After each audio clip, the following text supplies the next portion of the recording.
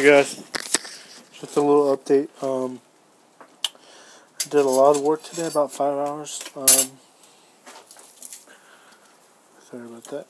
As you can see, it's pitch dark now. Or not really pitch dark. The sky's still like dark blue, but uh, it's getting real late, and uh, gotta go shower, get all this metal off of me.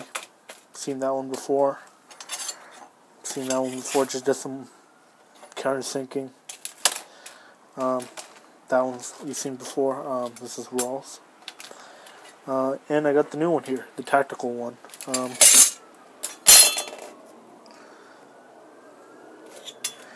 as you can see, there's quite a few differences between both of them, but the, it's basically the same exact knife, uh, except this is the tactical version. Um, got the collab knife got this new little blank that I got from Chuck. Um, see, it did a little bit of report, a little bit of uh, I just kind of made the kind of the bevel fit my hand a little bit more comfortably. Just kind of fine tuning, you know. Um, made another one of these, um, slightly bigger, and uh, about 50% thicker. Um, I might keep that one. I know. I have like three of those. Um, gotta do this one. Uh, that's kind of a refurbish. Um, here's a little one for uh,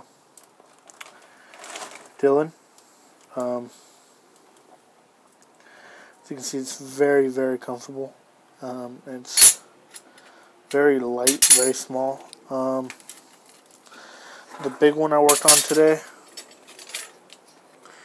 my take on a Spartan chopping or a Spartan knife. Um, very, very big. It's got my handle shape for the most part, but then it's going to have um, curl overs, you know, the guard coming off from both. That's what the two, two holes are for to stabilize that. Uh, once I put the handle material, the handle material um, is going to come up here. It's going to be like bolsters and then one different color in the middle, but this one's going to come out into a horn on each side. Still got to do the thumb ramp, as you can see. It's a lot of work on that one. Um, and uh, now for the for this one, here is the production blade for me and my friend. Uh, this thing is freaking comfortable as heck. So much nicer than the first one. Um, this is the final version with a half inch longer blade. As you can see, the grind is pretty much finished for a pre-heat treat, but I am going to bring it all the way up uh, since I can. I just um, I don't I've been working with uh, one belt today, which is the best one for grinding because it's kind of worn out. But it's good to get the you know the grind started. As you can see, it's not completely even, and that's because of a method I use to uh, remove steel a little bit faster. Because I mean, with the one by thirty, uh, it's really hard to get stuff done quickly. But as you the holes here are drilled um, to line up the blade just enough so it will balance perfectly once you have handles on there. And also, um, I didn't drill too many to keep the structural integrity of the blade. See on this one I drilled quite a few. This one just a few too, but on this one, this is thinner. This eighth inch. Um, I only did like like uh, four um, weight reduction holes because it is thinner and actually it will flex a little bit if you put it on a vise. Um, so that's not too. And then the blade is longer too, so you do need a little bit more weight on the handle. Um, so I don't want to do too many holes on that.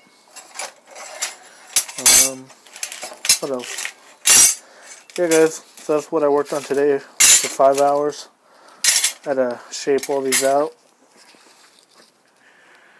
As long as you can see the ground, it's black with metal. Um, that's just from drilling right now. Um, here, I haven't emptied this in about two hours, so I'm going to show you how much metal is in there. Not that much, just a little bit. I emptied it out a while ago, and I haven't used it as much as I've been using other machines today. Uh, whatever. I'm gonna go ahead and clean some of this stuff up. Um, yeah, guys. Um, I think I might need to raise this bench up a little bit. I mean, it's a little bit higher than waist high, but when you have uh, goggles on,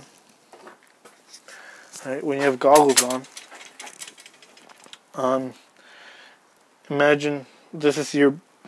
Right, if I can reach. This is my eye level right here, and to look down, I have to look down